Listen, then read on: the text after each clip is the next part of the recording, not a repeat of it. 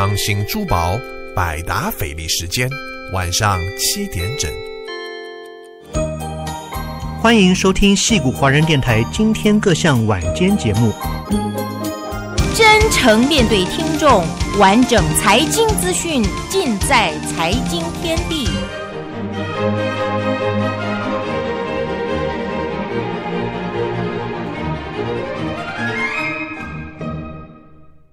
亲爱的听众朋友，大家晚安，我是周乐，非常欢迎您准时在晚间七点收听戏谷华人电台的各项节目。今天是二零一四年的六月二十七号，周五。我们今天在七点钟替各位请到的这位嘉宾，他是一个是在 s u m m t e l 开了一家学习中心，叫做 IV Go 补习中心。对，校长的名字叫做 Nick 尼，Nick 你好。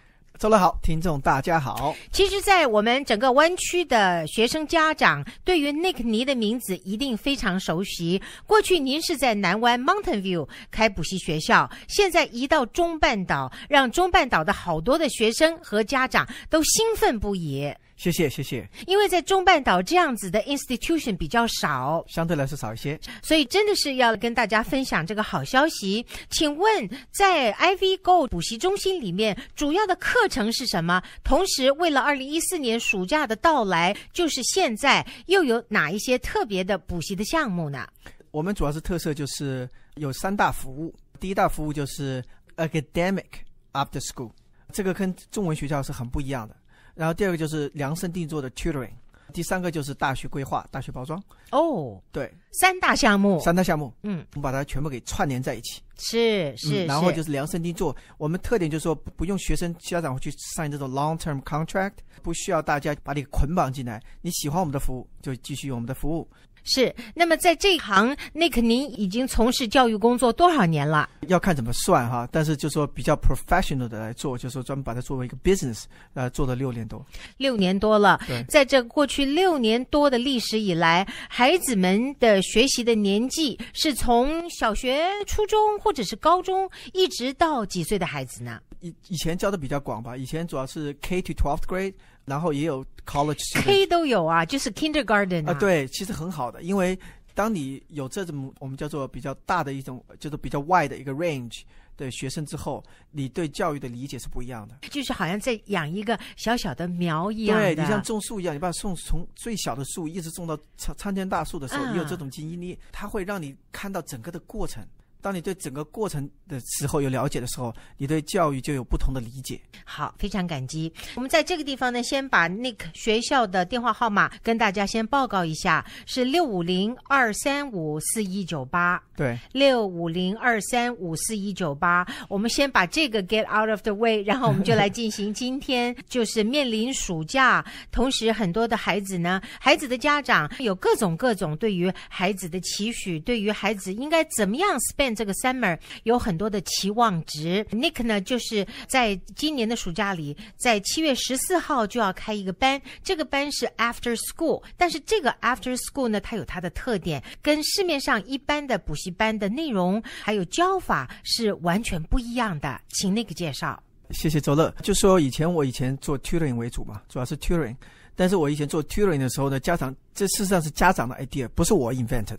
就是很多家长就一直要求，就说：“哎呀，你们能不能开一种，就是特别是 in academic after school，跟传统的中文学校不一样，给家长另外一种选择。我不是说中文学校不好啊，嗯，但是就说能不能有另外一种选择？那么这种选择是什么呢？就说特别是我们现在我们知道我们做 summer，但是主要是给 school year 的用的。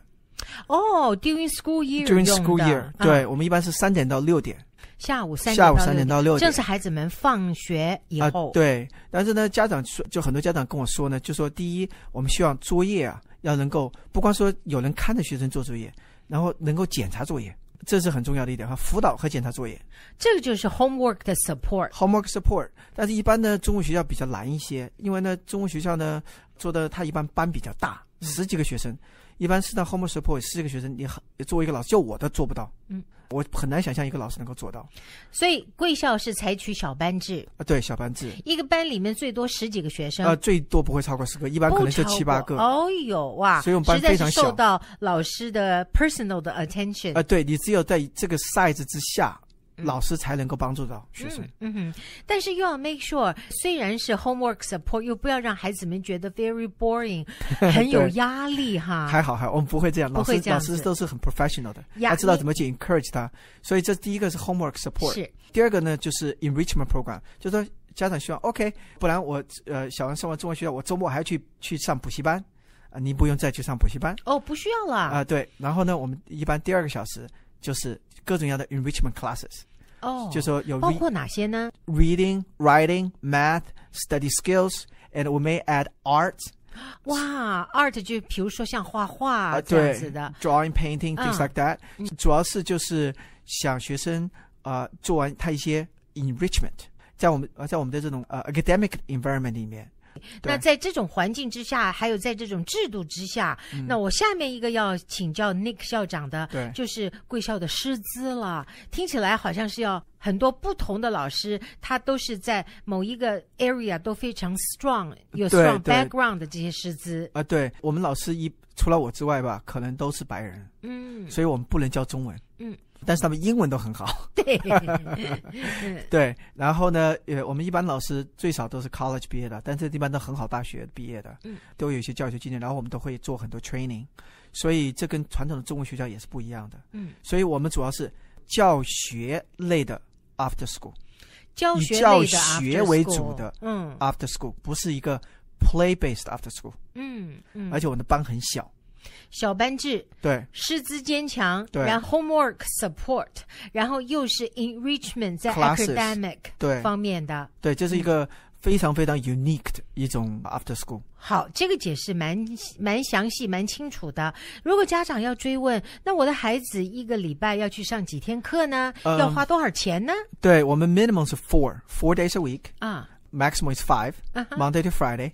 呃，一周五天的话是五百九十块钱一个月，嗯，那么一周四天的话是四百九十五块钱一个月，嗯嗯，价钱是比中文 school 稍微要贵一点。我知道中文 school 大概五百四十上下，哎呀，要贵一点点，但是我的班小啊，嗯。然后我们做的说是 academic 的活儿比 play based 要更多，，of course，要多很多。脑力激荡的更多。对，嗯。所以我已经 push push to the minimum 嗯嗯， that we we it's uh, the very very reasonable，其实 very very good。是呃，price。那在暑假，比如说七月十四号开课哈，对，暑假来，那有哪一些 homework support 是是内容呢？因为现在是我们没有 homework support。不是，就是那他这个 academic 的 enrichment 是下一年的吗？是来年的吗？不是，我们暑期呢主要是办一个像也是补习班，但是没有 homework support，嗯但是就是用用其他的课来代替 Like what？ ，like reading、嗯 vocabulary development，like reading comprehension、vocabulary development、essay、嗯 public speech、写 study 文章 skills 哦， arts，还有 things like that public speech 啊， right public speech is typically together with essay，哦，所以我们一般会写让学生和说，啊，对，写完了之后，我们教学生写，写完了之后，we typically ask students to stand in front of the class，、and then they need to 来克 give 服 a 他自己 give 的 a speech. fear。 Yeah, it's important. 呃，是但是我们中但国的小是他们的孩一般，表达能力怎么样？其实表达能力 经常和 essay 是有很直接关系的。哦，你的 essay 写得好，你经常表达能力写得好词能达意，啊，对否则就词不达意。对。然后呢，但是它又有有点不一样，就说 public speech 你还 overcome 一个 fear。呃，有些人文章写得好，但是他不敢站起来。这个要怎么办？呃，就是要鼓励，要训练，其实可以被训练出来的，很多学生都可以被训练出来的。想想看，我都可以被训练出来。It takes focusing，还有 determination。，somebody push it，因为有时候就像小孩走路似的，为什么小孩经常？其实小孩按理论上来说，infant 嗯。就理论上面来说，他更小的时候他都可以走路，呀。他但是他扶着墙走，呀，不是他不能走，是他一个 fear，怕嗯。对说一个怕怕怕摔倒、怕嗯。摔跤的一个 fear。那么事实上，如果有人去引导、去 push 他，有时候小孩是需要 push 的嗯嗯，啊。就说 let go，Let 放 go，手，鼓励他，鼓励他摔跤没关系千万不要说啊呀摔跤了痛死了呃，。对，其实 public speech 也是一样。其实我们很多教学都是这样的，是，但是这跟美国的教学理念有一点不一样。其实我们有点像中西，嗯中西合并。对，Yeah，I like that。那我知道在这个班呢，就是 After School Enrichment。并且是用英文来教学的这个班，是多年来您的一个 goal，就是在过去您在南湾 Mountain View 教学的时候，对。就有很多很多的家长一直在跟您要求说，应该要再办一个这个班。呃，应该是在学校开始的时候办这个班。学校开始因为他们这是 school year 要办这个班，他们非常需要这个，但是因为我们以前只做 tutoring，嗯，没有这种 group，所以呢，我们也有学生做，也就一周来五天，一周来四天，嗯，但是我们 cost 非常高，嗯，就差不多到了每个月要一千块钱，哦，嗯。就说绝大部分家长都无法 support，嗯。所以 has to be a better way of doing this，，Yeah，所以我就一直在想该怎么做结果设计出来了，啊、对。所以这个是七月十四号开班，对，那是为期一个月或是两个月，呃，一个月。一个月，一个月到八月中旬就结束，嗯因为学校马上就开学了。是是是。学校开学之后，如果有兴趣的学生，喜欢我们服务的学生，那么他就可以转到下午，是，因因为这个班是早上。这个班是早上，，对，早上我们九点钟可以被 drop off，class start at nine thirty，嗯嗯，然后十一点十一点半结束，twelve o'clock 呃 late pick up。那 transportation 的部分呢？呃，现在也是我们也是用一个 third party，、嗯我们 negotiate with the third party，呀，提供接送，呃，提供接送。嗯他们一般只就说 one way，呃 one way for one month，嗯，呃，typically is one twenty to one forty a month，其实非常非常便宜。这个价钱是 very competitive，呃非常非常，我们专门替我们学生呃找的。也很安全。啊，因为他们是专门做这个的，嗯，所以比一般的老师啊去接送啊安全，其实安全很多，是因为他们是有他们是有 certification，有专门的 training，呃，也有 insurance，也有 insurance，而且我们学校所在的位置有自己独立的 parking，、所以非常安全。是我们刚才在讲的是，在七月十四号开始，也是补习班嘛，对。也是叫做补习班对 day，教呃 half day 是早上九点半到十一点半，对。呃的这个班的交通问题，交通问题也是很多家长们心里面必须要了解的，他才能够安排他自己的时间，对对他自己的事情。那么呃如果说来参加的孩子们，他们的年年纪就是他们的 age 不一样，对您是怎么样把它 regroup 的呢？哇，您飞得非常专业，这个哦非常好。嗯呃，我们不收低于二年级的哦，OK，OK，只有二到十二年级，二到十二，二年级以上，哦，二年级以上，那是分几个班呢？我们一般分两到三个班。是，对，嗯，然后就是看最后 enrollment 的情况，我们都会去分班。然后我们有些技巧是一样的呢，比如说二年级和五年级分在一起，那么它有些 skills 是 the same，like study skills is the same，嗯大家都会一起上。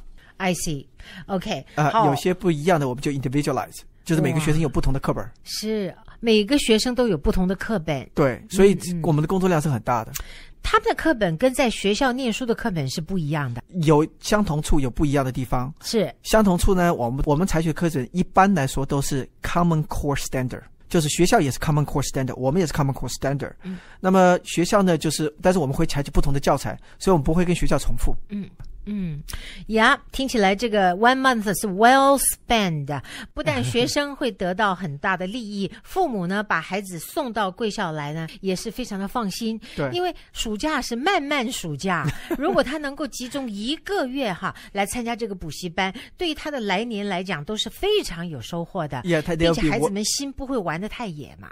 actually they need to be ready That's the word，孩子们必须要 be ready for For- next year。 for next year, and it's only half day. 对 So 对， after that, 还可以去 on the 玩。 weekends you can play forever, whatever, 对 and then 对 after afternoon you can play. 所以啦，很多大人都在说，Please study hard and play hard，就是 Exactly 好，那么七月十四号在 Ivy Go 学校补习班由 Nick 尼所负责的这个补习班呢，正在收报名的学生，报名的电话是六五零二三五四一九八六五零二三五四一九八。我们的时间马上就要到了，我希望 Nick 可以来补充一下刚刚我们没有被访谈到的内容。就是呃，如果呃，但这个补习班不有些学生是不适合的，什么样的学生不适合呢新移民学生是不适合的。？I see，新移民学生事实上是很忌讳上大课的，就说比如说我们经常有些新移民学生哈，就比如说像 SAT 班儿，其实效果是很差的。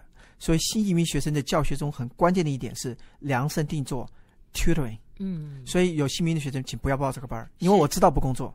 还有一些学生呃有学习障碍的，这个也是不工作，但是我们可以教，对，但是不能在班上大班教。是像比如说有学生有 ADD 啊，有 ADHD 啊，是可这些学生都可以教的，但是不能上大班儿。是，好，那我就明白了，什什么样的孩子适合来上这个班，什么样的孩子呢是要独特的、特别的 design 来辅导的对。非常感谢 Nick 倪校长，感谢你，听众朋友，Ivy Go 在七月十四号要开的这个班，如果你有任何的问题，或者是想直接报名，请致电六五零二三五四一九八六五零二三五四一九八，谢谢您。接着呢，我们就请收听下面的访谈，马上回来。好消息，Nick 倪倪校长在 s u m m e r t a l 开设一家全新学习中心 ——IV Go 常春藤补习，湾区唯一一家融学习技巧与课后补习的学习中心。不仅提高孩子的学习成绩，而且培养孩子的学习能力，保证四十小时提高一个年级。新址开业，报名者可免费试学四小时。IV Go 常春藤补习位于 Hillsdale Mall 附近，报名电话六五零二三五四一九八二三五四一九八。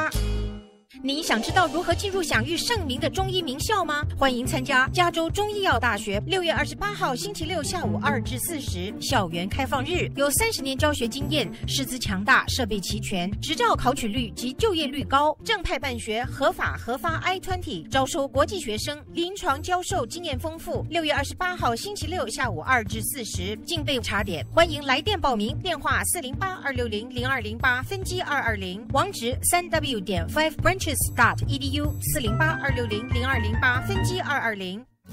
Rebecca Lin 卖屋有方，华尔街金榜题名。我们的买卖双赢 package 让您省心又省钱。详情请致电 Rebecca Lin 四零八七二零六八零零，Rebecca Lin 四零八七二零六八零零。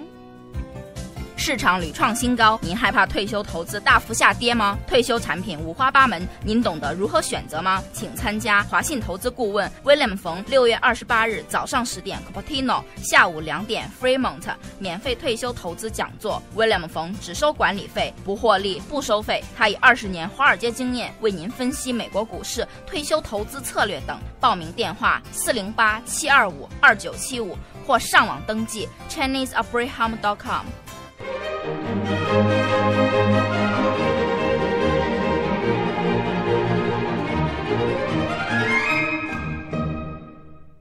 亲爱的听众朋友，欢迎回到财经天地一周股市分析。现在让我来介绍这个单元的嘉宾，他是 Portfolio Manager Richard 王。Richard，好久不见，你好。好久不见，Lily，你好，各位收音机旁的听众朋友们，大家好。今天是二零一四年的六月二十七号，很快的，在下个礼拜一就是二零一四年上半年的嗯上半年的股市就结束了。是但是到今天这个情况可以说是大局已定，所以我们今天呢，除了讲本周本日，更要讲上半年的美国的股市的分析，这个内容非常的精彩，并且包括在下半年美国的股市可能的走势。非常欢迎你，Richard。首先，让我们来看看今天礼拜五美国的成绩表现，在道琼斯上涨了五点七一点，坐收在一万六千八百五十一点八四 nasa 上涨了十八点八八。坐收在四千三百九十七点九三，标普五百上涨了三点七四点，收市在一千九百六十点九六。Russell Two Thousand 上涨了八点七五，收市报是一千一百八十九点四六。这样子的成绩造成在第二季度呢表现的的确是比第一季度的好，所以造成了在前六个月的上涨。我们来看一下，我们借 Richard 的头脑来告诉我们，在半年以来美国的股市的成绩表现如何，排名如何？是我们先把三大指数的情况跟大家报告一下，就是道琼斯呢到呃就是到今天收盘为止呢，大概是上涨了大概一点六七个 percent。其实大部分的涨幅都是在第二季啊，因为第一季其实呢涨跌并不多，就是基本上第一季是没有什么没有什么变化。那么 Standard p o o 呢，在半年以来已经涨了六个 percent。啊 n e s t 大概已经涨了有五个 percent，Russell Two Thousand 大概涨了两个 percent，可以充分看得出来，就是在这四大的这指数里面呢，S M P 涨得最好，那是排名第一。对，因为它是有原因的，因为在股票的这个 sector 里面涨得最好的过去半年呢是 energy 和这个 utility。那么，因为很多电力公司呢都是在这个 Standard Poor 500里面，所以严重的呃，就是说，因为它的它的这个这个比率比较多，所以 Standard Poor 的表现呢就比其他的三呃几个指数要要好得多。通常 Richard Energy 还有 Utility 是在经济什么样的周期之下长成长的比较漂亮、比较亮丽呢？我觉得，如果从整体的这涨的这个情况来看的话呢，我们很明显的可以看出一个趋势，就是第二季呢，大部分的基金管理人都把过去股票赚到的钱，把它 rebalance 到一些 fixed income type 的这种投资上去，也就是说像收入对像 long term bond 啦，像 utility 的 star 啦，像 REITs 啦、REIT 啦，这个是一个很明显的一个一个趋势。当然，energy 涨得好呢，也跟过去的这个地缘政治的这个风险啊，就是就是紧张的情势有关。比如说，呃，伊拉克的内战呢，跟这个乌克兰的内战所造成的这个油价上涨。所以目前看起来，我们可以充分的感觉到，就是呃很多的钱呢，它的走向呢非常的这个快速啊，尤其是啊一些境外的一些热钱，它不见得是汇到美国来，但是它会 parking 在美元计价的这个资产上面，比如说美股或者是美债。啊啊哈这个当然是跟第一季的 emerging market 的货币的贬值就是比较弱嘛。相对来讲，美元在目前来讲呢是属于一个比较强的 momentum。虽然我们一直以为美金会升值，但其实并没有真的发生。但是它这个 momentum 一直在 build，这是为什么美元对日元对欧元呢？相对来讲，它的这个 anticipating 的升值的这个这个期望啊，一直在那个 momentum 一直在那里，所以你可以感觉得到为什么美股跟美债呢？呃，到目前为止，两个都是在非常高的位置上，所以这是一个资金的这个流向是一个很明显的一个趋势。呀虽然 UUP 这个是代表美元的 ETF，它在六月初是达到比较高点的二十一块七左右，今天是回到二十一块三毛四，但是不可否认的，它还是在这个区间，并且是在高点的区间晃荡。那么我也很觉得很 puzzle 的就是，为什么美债啊，为什么债券在今年表现的这么好？它背后的原因又是什么呢？债券之所以表现得很好，当然就是根呃根据我刚才讲的那些原因，就是第一个是美元是呃在 momentum 来讲，它是一个比较 anticipate 会走强的一个货币，所以呢，很多的热钱呢都集中或者是争取啊、parking 在美元上面。那么一一 parking 到美元呢，他们第一个选择就是可能去买美股或者是去买美债。那么还有一个原因就是，他买的不一定是美国的公债吧？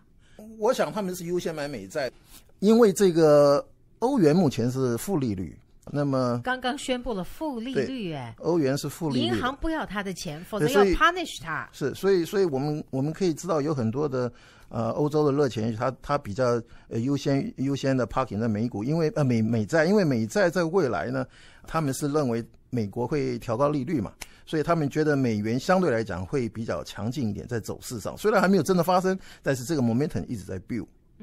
另外还有一个原因就是，美国美债跟就是包括美国公司债券跟政府债券呢，在最近这两年呢，它的发行数量呢就减少很多，所以它变成物以稀为贵，因为它的 demand 很大，但是它的实际的发行量比以前减少了一半，所以这是为什么就是僧多粥少的意思。对对对，这也就是为什么相对来讲，在在最近这个 quarter，呃，升值的非常多。我举一个非常明显的例子，就是呃，你知道这个 zero coupon bond 在最近的这个半年呢，它升值了百分之十九，哇，这个是相当惊人的一个非常可数字观。所以其实我都有一点在担忧的，就是说债券可能已经形成了一个小的泡沫。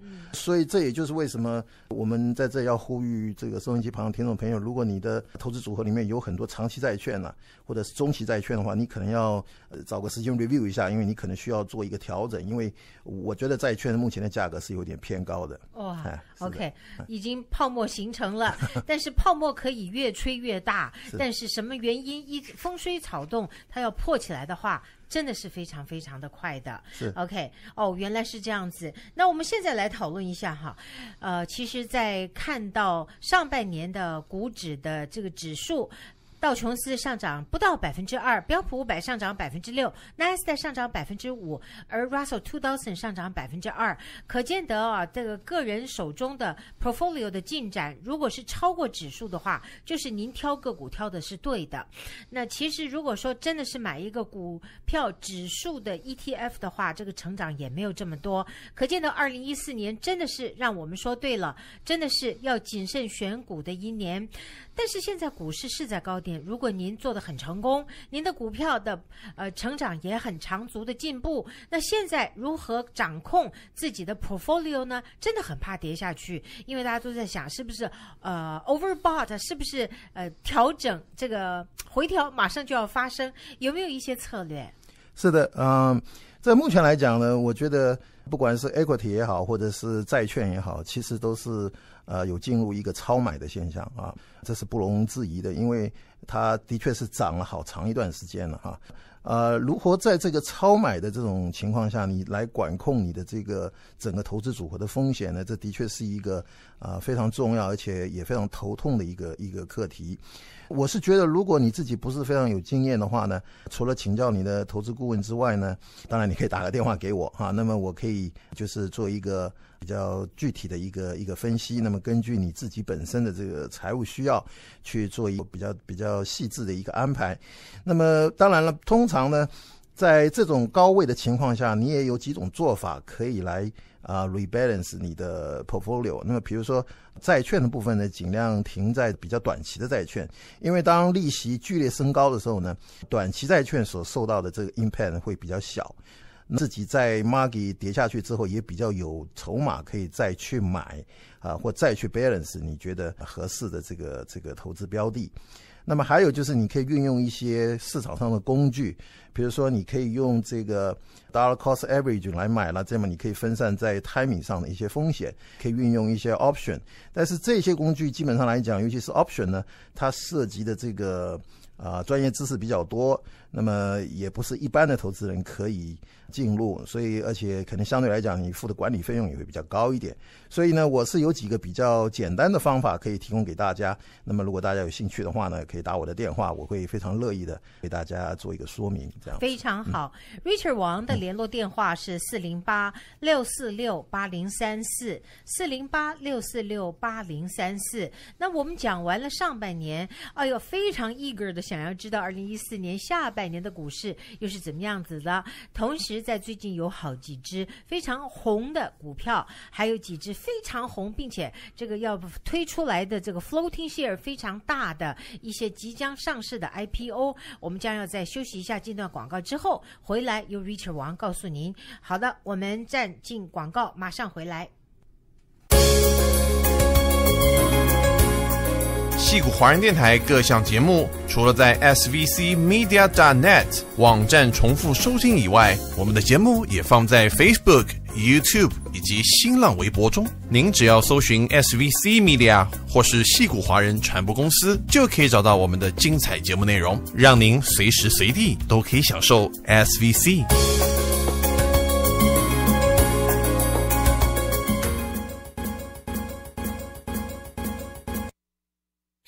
的湾区朋友们，夏天到了，老赵川菜馆本月隆重推出成都风味宵夜小菜：炝藕片、拌土豆丝、虎皮尖椒、青椒玉米、卤凤爪、卤鸭掌、干煸苦瓜、麻辣鸭脖子、凉拌猪耳朵、荷叶稀饭、绿豆稀饭。老赵川菜馆夏夜美食等着您来哦！老赵川菜馆位于四百号 Murphy Boulevard Mountain View，定位电话六五零二六二九七二八六五零二六二九七二八。津津乐道，承诺您在动荡多元的时代里，掌握金融趋势、世界动脉。津津乐道，成就您发挥潜能，解决困境，为您及下一代创造另一个高峰。请别错过每周六日晚间在 Comcast KCNS 三十八台晚间九点钟的全面性综合性访谈节目《津津乐道》。市场屡创新高，您害怕退休投资大幅下跌吗？退休产品五花八门，您懂得如何选择吗？请参加华信投资顾问 William 冯六月二十八日早上十点 Cupertino，下午两点 Fremont 免费退休投资讲座。William 冯只收管理费，不获利，不收费。他以二十年华尔街经验为您分析美国股市、退休投资策略等。报名电话四零八七二五二九七五或上网登记 ChineseAbraham.com。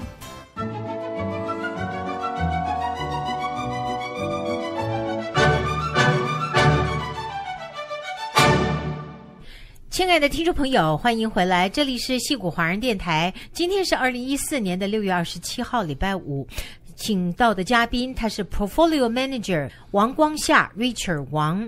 我们刚才在上半场呢提到了二零一四年的上半年的经济的背景，造成债市高涨的原因，还有美股表现的成绩的这些顺序，是标普五百里面的 Energy 占的分量比较大，Utility 占的分量比较大，因此标普五百成长百分之六是。今年三大股指在上半年表现的最好的一个股指，下半年的走势是不是还是这样子的呢？Richard，我想下半年的股市呢，应该会有点改变，因为啊，我们下半年有很重要的其中大选，一些公共议题呢。可能会成为股市走向的一个关注的焦点啊，一个因素。对，那么当然还有一些地缘政治的这个这个这个冲突在发生。那么这些事变的这个演演变究竟会啊对整个经济会造成一个什么样的影响？我想最主要的还是油价的这个走势。啊，目前呢比较比较令人担心的就是伊拉克的内战会不会直接再影响到啊油价的上升？这是一个我们必须要呃在下半年特别关注的一个一个政呃就是一个地缘政治的一个一个发生冲突的地方。虽然是发生在美国境外，对，可是它的石油会影响到全球都在用的这个原油的价格。是啊，那么乌克兰的那一战呢，也可能会。呃，影响到欧洲的一些呃银行的债券的这个啊价钱，那么甚至直接影响到这个欧洲的银行的一些这个股价，那么这个也是需要特别注意的。另外，当然也是我们一直在讲的，就是中国的下半年是不是能够克服它在房地产呃下跌跟这个很多理财产品到期的这个啊风险呢？是不是能够有哪一些理财产品的到期？中国呢，按这个目前大家在谈论的，就是说，它在未来两年呢，可能有大概一大概有二点二点八万亿的这个理财产品可能要到期。嗯，那么这个会到期了以后就变成 cash 了吗？不是，它这些理财产品到期的时候呢，如果它的这个这个这个发行的这个债券的这个。这个 agent 呢，他不能够偿还他的这个本金跟利息的话呢，他必须要发行新的债券来取代。那么在这个过程当中呢，如果他不能够达到他的这个目标的话呢，可能会引起一些呃投资人的不安。那么会不会连连多连锁的造成一些系统上的风险？这个就有待观察，但是我觉得真正发生这样的可能性的比率并不高，因为中国政府呢，通常它有比较强的这个宏观调控的能力，去克服这些呃局部地区的这种这种恐慌，所以我想啊。中国政府应该有能力可以度过这些啊所谓的这种这种危机的一种猜测，但是呢，如果说有一些情况是不能被控制的话，可能会影响到啊世界跟美国的股市，所以这一点也是下半年存在的一个变数。那么第三个部分可能会影响股价的，就当然还是呃各大公司的盈余是不是还是会继续的成长？那么是不是还能够支撑目前股价在这么高的价位？这是一个哇，这个很重要，这是 fundamental，这是这是另一个要值得呃去关注的一个因素。那么另外一个就是。呃，Fed 这个升息的这个 pace 会不会有什么政策上的巨大改变？会不会提前？对，这个当然每四十五天我们都会观察一下。不过看起来，我觉得目前最快调高利息的时间应该还是在明年的第二季初啊。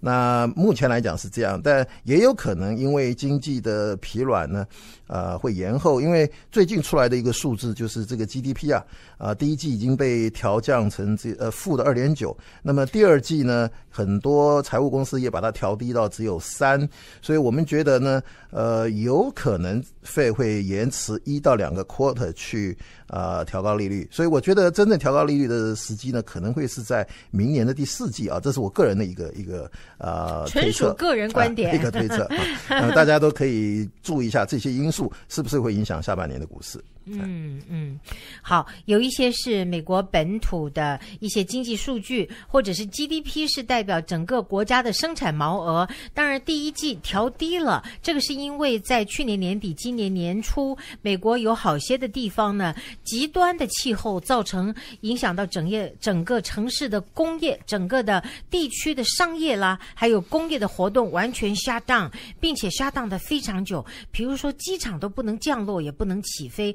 工厂被迫停工等等，这个你看，这个气候都会影响整个国家的这个生产力，实在是很可怕。但是美国呢，因为在整个的 monetary 的 policy 做得这么好，现在呢有很多在过去外流的这些工作的机会，现在也慢慢的回到美国了。但是另外还有个题外话，就是过去美国是所有的 engineer 最喜欢来的国家，现在这个国家变成是印度了，很多高科技的人人才呢都直接跑到印度去工作了，真的是风水大大的轮流转呐。是好，我们现在呢就来提出几只个股。那这几只个股呢是比较出风头的一些股票。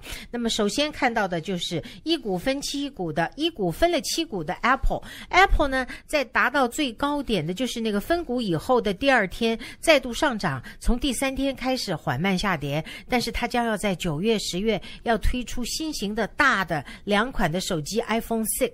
这个消息呢也让它也摆脱了这个呃认为它是紧紧的跟在 Google 后面的一个这种声势啊，而认为 Apple 的啊 iPhone 还是。独一无二的，还是一枝独秀的，两天上涨，今天更上涨了一块钱，今天收盘的价格是九十一块九。对，啊、我想下下半年呢，Apple 仍然是一个可以关注的股票。我们觉得它应该有可能可以突破到呃，就是分股前的大概七百五十块吧。我想也就是差不多是在啊一百零五到一百一十块之间哈，在未来半年，我想它还是有可能会到达到达那个价位的。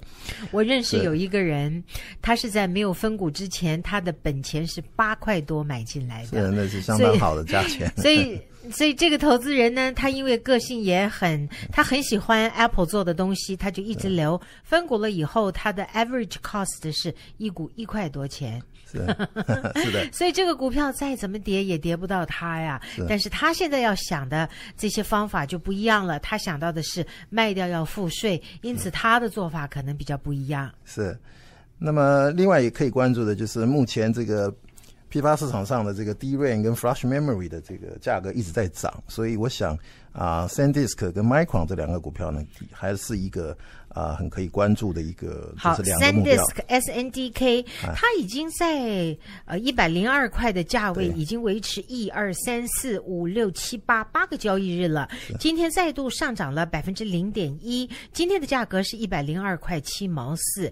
它这个盘了这么久，那下面一波是要突呃突破上限来往上冲吗？是他们觉得它可能会到一百三十块哈，那我们可以、哦大家可以关注一下。啊另外就是啊、i n t e l 其实也不错，如果你比较保守的话，我们再看一下 Micron，、刚才 Richard 提到了两只，一只 SanDisk，、一个 Micron 美光。嗯，它今天下跌百分之一点五三，现在的价格比较呃，大家觉得这个价格比较 affordable，是三十一块五毛一。是它的盈余在下个 quarter 应该还会比这个 quarter 会更好，所以我觉得它有可能会到达四十五块左右。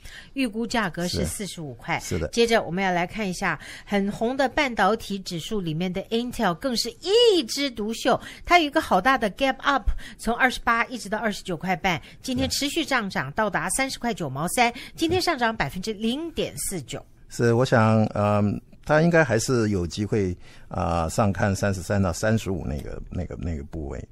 我想大家可以关注一下。哎呀是，厉害厉害！所以我们今天所有提出来的股票，并不是呃在推荐让您及时买入，而是要值得关注，并且要自己多加研究。那么现在来讲，比较弱势的股票，其中有一个是易贝，易贝呢，哎呀是五十块零八，上涨百分之一点二三，但是还是改不了它下跌的一个趋势。是因为他原来要把 PayPal spin off 出来这件事好像不能成功，所以大家就啊、downplay 他的股票，所以我觉得目前应该是一个买进的机会，尤其像这种呃网上零售的股票呢，在年底的时候通常会啊、好一点。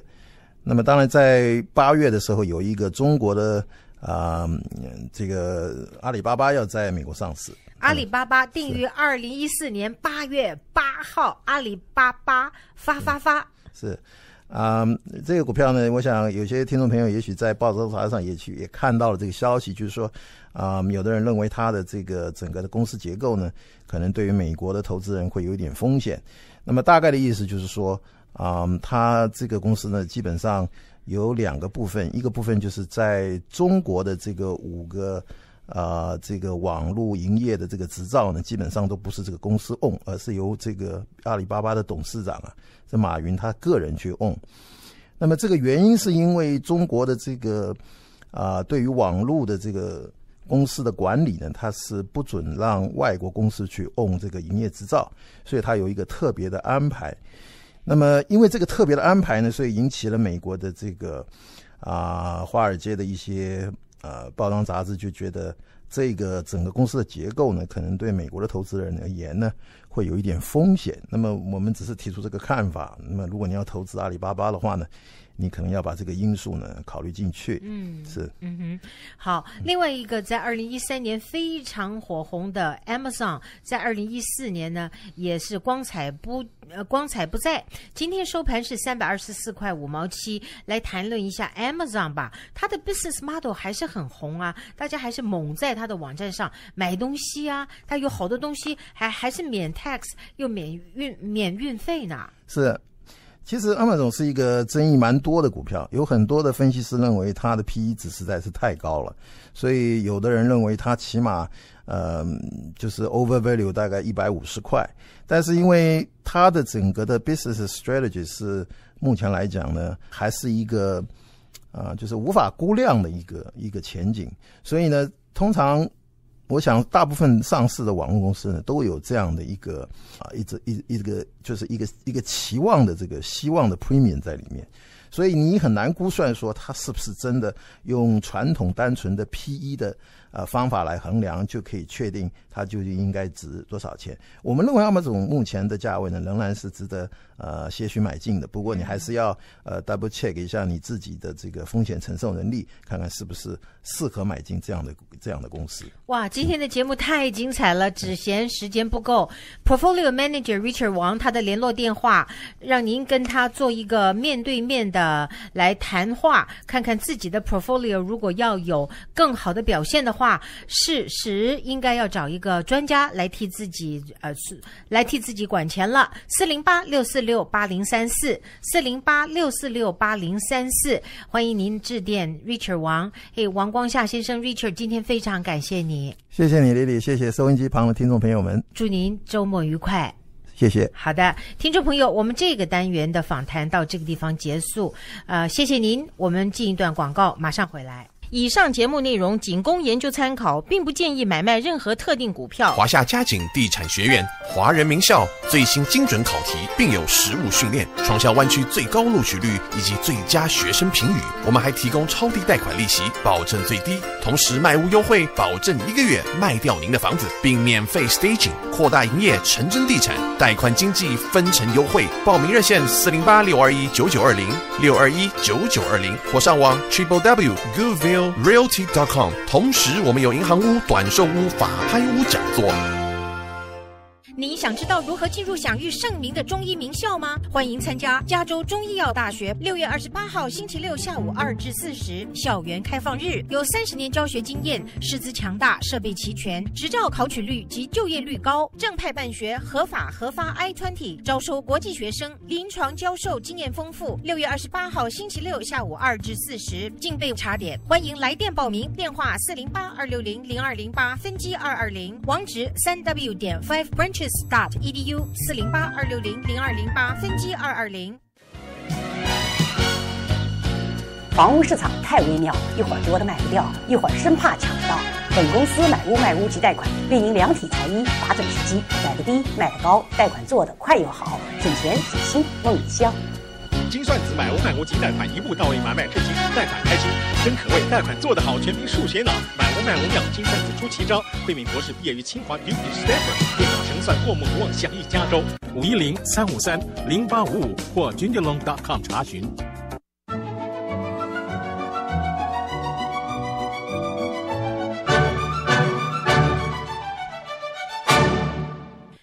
爱的听众朋友，大家好。在前两期的节目，我们谈到了什么是生活教练，生活教练是如何进行的，以及一些提升幸福感的技巧。生活教练好比是人生道路上面专业的伙伴，与我们一起面对生活中遇到的各种问题，帮助我们顺利的跨越，从而提升生活的品质。今天我们再度邀请到生活教练洪丽，洪丽老师您好。周乐你好，西谷华人电台的听众朋友们好。通过您的介绍，在前面两次的访谈中，生活教练是一对一的私人教练的服务方式，可以面对面进行，也可以通过网络电话来进行。根据我的了解，红利的 Life Coaching 除了一对一的教练服务，还有小组方式的 workshop，还有相关的培训，能够多介绍一下这方面的内容吗？是的。除了一对一的教练服务，我们还做小组的研讨班和一些相关的培训。目前有关于积极心理学的幸福作坊，主要是研讨关于积极心理学的概念，并将积极心理学的概念和相关技巧应用到生活当中，帮助大家提升幸福感。另外呢，还有易经的课程和催眠的课程。易经的课程和催眠的课程，谈到红利易经，红利老师的易经文章在中国大陆的网络和报纸上都连载了，也有很多的读者都拜读了，恭喜您呐！谢谢，红利老师。很多人都觉得易经是很难懂的，易经跟红利的 life coaching 又是如何有相关的关联呢？是最开始听到易经也觉得很神秘、很陌生。不过学习之后呢，其实发现《易经》就是在讲生活中最朴素的道理，《易经》是一本一切知识、经验和学问的老书，是人类思想的来源。红利 Life Coaching 呢，把《易经》的哲学思想作为核心的价值理念，会经常把《易经》里的思想和概念用在教练方法之中。在目前的生活教练同行中是很独特的，也是很有效果的。易经其实是与每一个人相关的，没有想象那么难。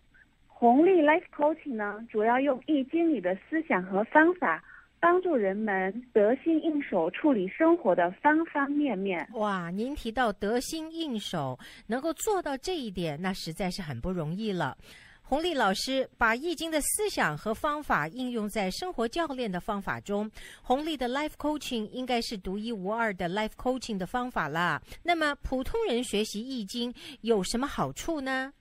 就我个人觉得，大家学习易经的好处，除了修身养性，易经就好像指路的明灯，可以帮助我们认识世界，解决很多的困惑，更好的生活。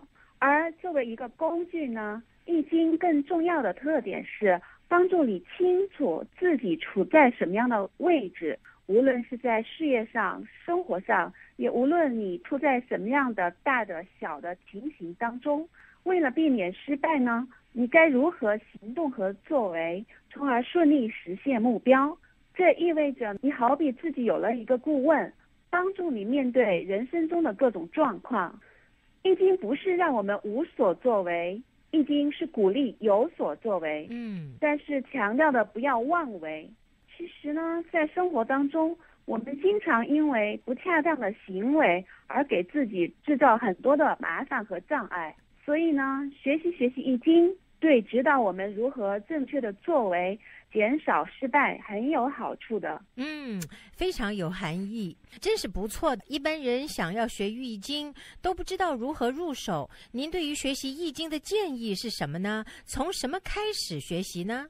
对，很多人对易经有兴趣，自己买书看，经常出现理解的偏差。我们在传授易经的过程中呢，有一套有效的方法，可以让学员很容易进入和理解易经。在学习易经的路径方面呢，我们强调十二个字：读经、悟道、明示、优术、玉气和成业。让我来再重复一下，十二个字可以解释易经的精髓，还有我们怎么样来学习是正确的道路，就是读经、悟道、明示、优术、玉器、成业哦，能不能跟听众朋友更深一步的解释一下吗？嗯，可以的。因为时间关系，我就挑选着来讲吧。所谓读经呢，就是读经文了。当然，有时候人们会读懂文字，但不一定领悟意思，所以呢，常常需要指导。对于《易经》的悟道呢，就是感悟经的内容。既然《易经》讲的是生活中普遍存在的道理，一般大家有了生活阅历之后呢，都会悟到一些道理。但是呢，道是靠悟的，不是靠学的。读完经之后呢，就是要悟道。接下来呢，就是明示。每次谈到明示呢，是很有意思的话题。用易经的道来分析格局，来明确自己的位置，清楚自己的地盘，知道自己在哪。这个对我们实际生活很重要。是这里的事呢，可以分为大、中、小事。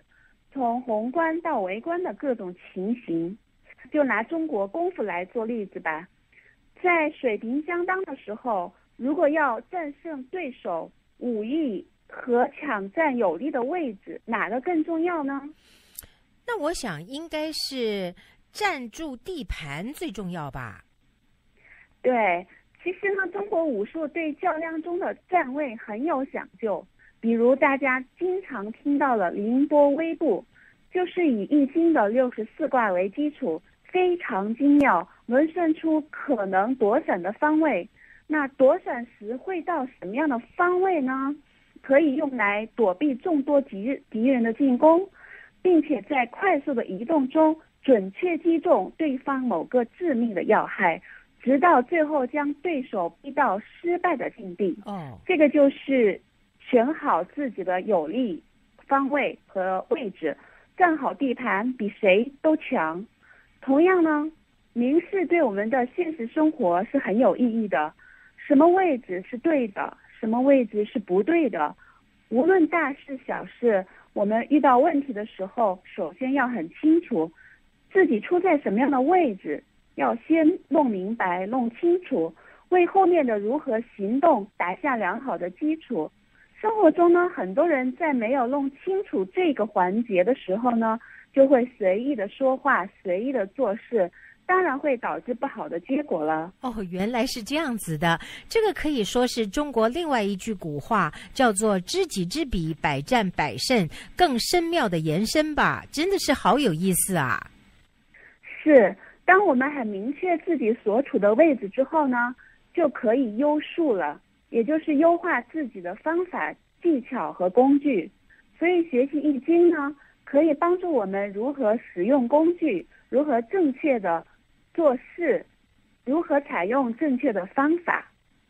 那接下来呢，就是玉器，玉器就是组织、整合资源，成业就是去实现我们要实现的目标，直到成功。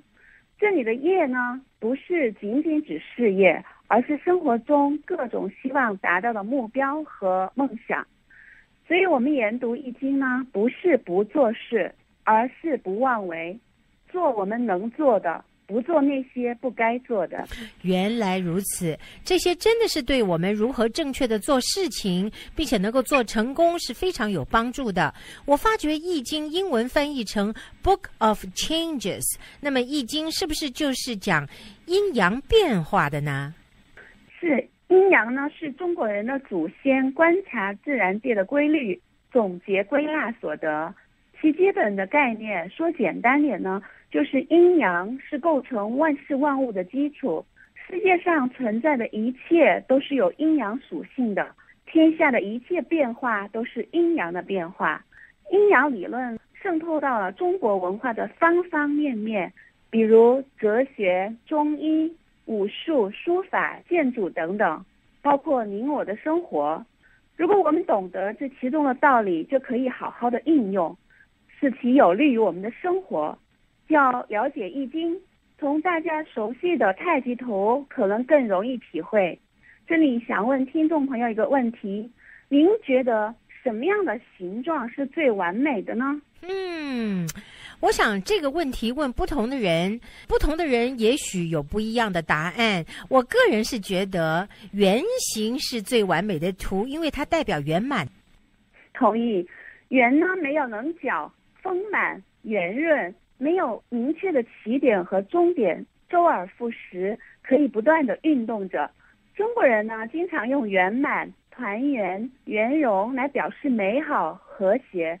太极图是个圆形的图，表达着完美和谐的概念。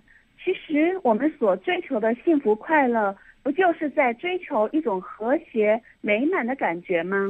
真是的，明明白白的，就是一个追求圆满、追求幸福，就是一个圆满的感觉，在形状上就是圆形喽。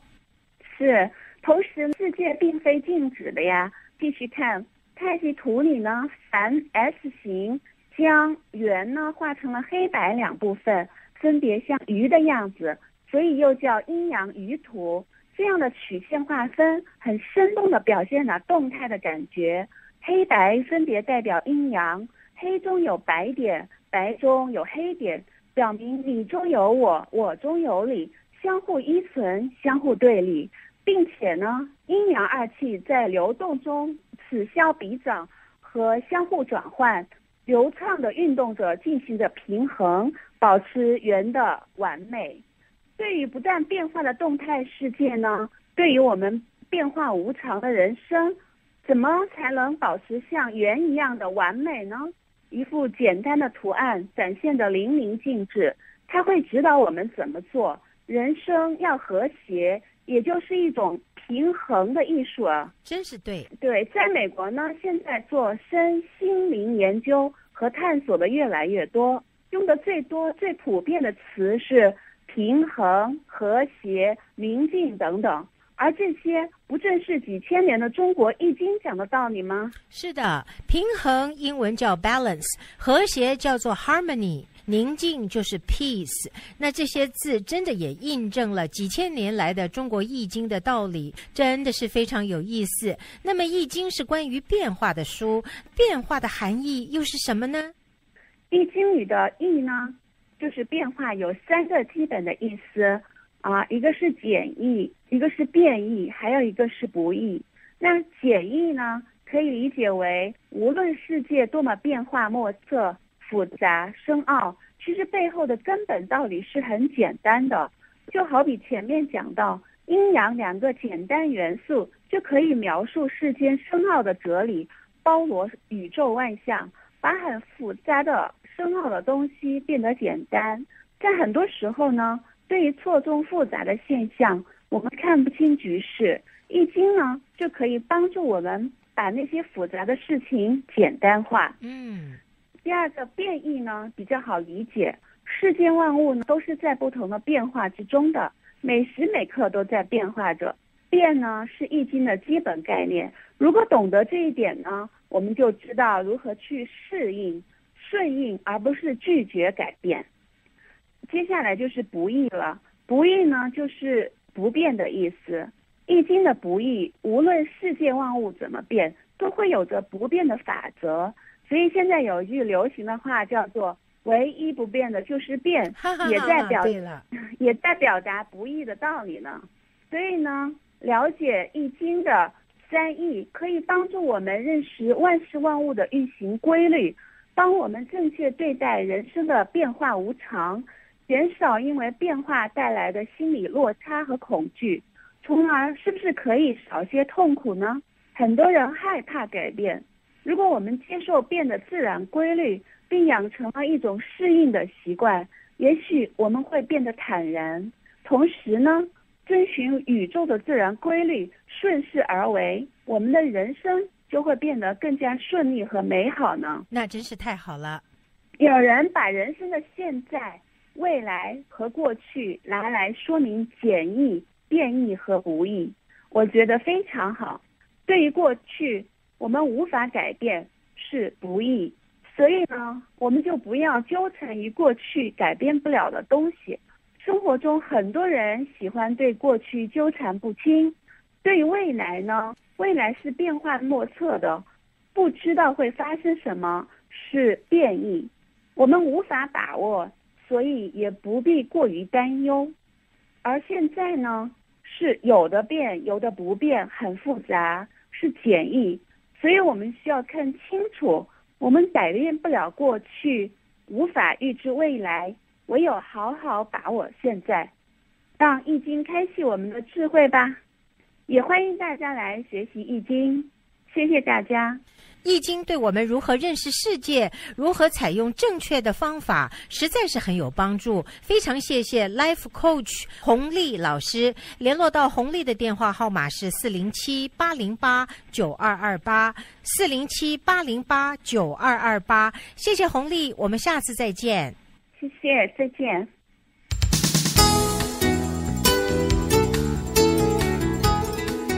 以上言论纯属嘉宾之意见，不代表戏骨华人电台财经天地及主持人的立场。今晚戏骨华人传播公司为您制作的节目。